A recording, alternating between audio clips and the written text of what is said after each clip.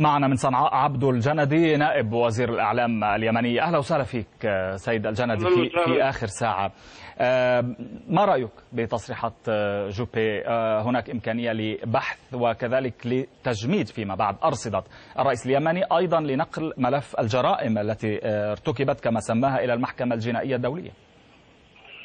أولا هذا شيء يدعو لأن فرنسا كانت واحدة من الدول الدائمة العضوية. آه شيء يدعو إلى ماذا؟ معلش انقطع شوي الاتصال. شيء شيء يدعو إلى ماذا؟ يدعو إلى الأسف ولا يساعد على التوصل إلى الحل الذي هو على الأبواب.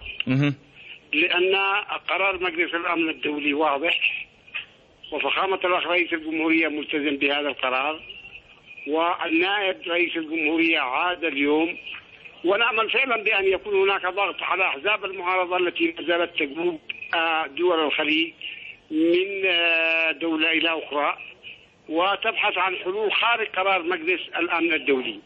توكل كرمان فعلا هي حاصلة على جائزة نوبل للسلام لكن ليس كل ما تقوله فعلا يمثل الحقيقة. هي فعلا يعني تنتمي إلى المعتصمين والمتظاهرين. والدولة تبذل كل مصطلحات حماية هؤلاء المتظاهرين والمعتصمين بشكل سلمي. أنا سألتك عما قاله جوبي. سألتك عما قاله جوبي فيما يتعلق بالجرائم التي قال كما وصفها التي قال إن إنه يمكن نقل ملفها إلى المحكمة الجنائية. نحن ملتزمين بقرار مجلس الأمن الدولي. وفرنسا كانت واحدة من الدول التي اتخذت هذا القرار. ما التزمتم بالمبادرة قبل؟ ماذا حصل؟ التزمتم بالمبادرة الخليجية من قبل ولم يحصل شيء؟ والتزمتم بقرار مجلس الأمن ولم يحصل شيء؟ المبادرة الخليجية وآلياتها التنفيذية التي أقرها جمال بن عمر مع الأحزاب والتنظيمات السياسية. وبالتالي جمال بن عمر لم يصل حتى الآن إلى اليمن.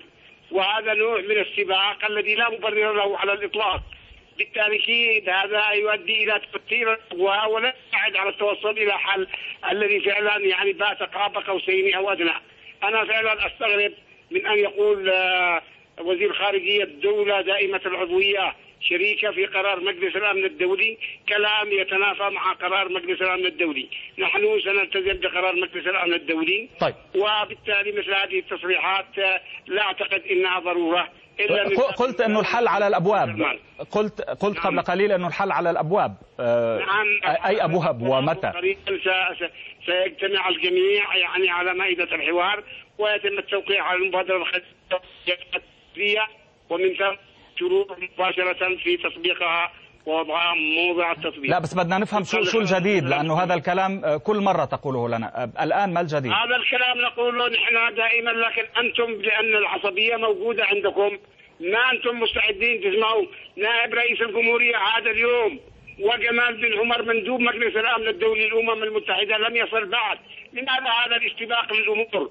أنتم في القاعده يعني في العربيه الان تعملوا نفس الكلام الذي تقوله الجزيره ومع ذلك نحن لا يهمنا ما تقولون المهم اننا واثقين باننا سوف نوقع على هذه المبادره واليتها التنفيذيه نحن يهمنا على على الاقل ما تقولونه سيد الجندي لذلك نسالكم دائما ما الذي يحصل ولم تجبني على سؤالي حتى الان لم تجبني على سؤالي اسالني لكي تعرف الجواب سالتك يا أخي سألتك أجبني. أنا قلت لك سنوقع على المبادرة الخليجية وآليتها التنفيذية طبقا لقرار مجلس الأمن الدولي. لكنك أنت السبق قالت لا ما وقعتم جمال بن عمر الذي هو صاحب الآلية ما حتى الآن ولا في اليمن.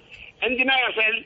يعني ساعتها إذا عاد ورفع تقرير هو بالتأكيد سيدين الطرف الذي يرفض فعلا التوقيع على المبادرة وآليتها التنفيذية.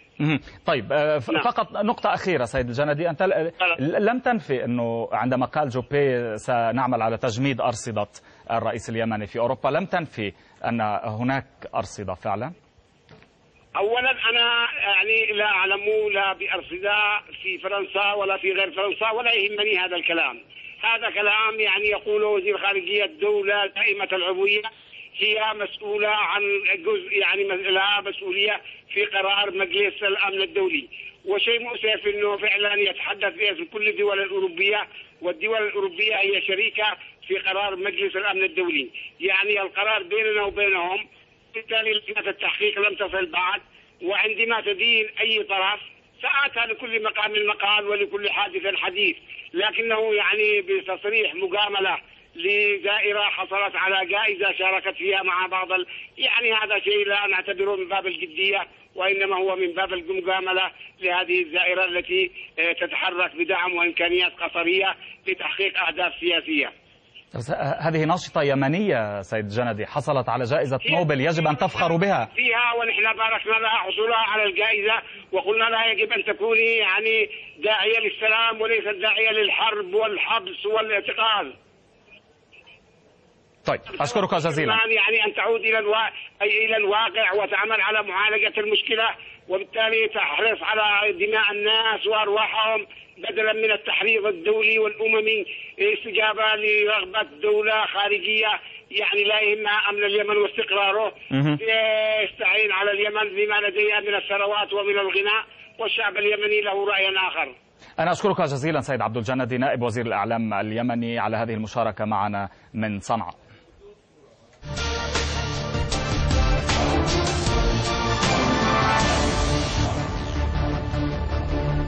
شدد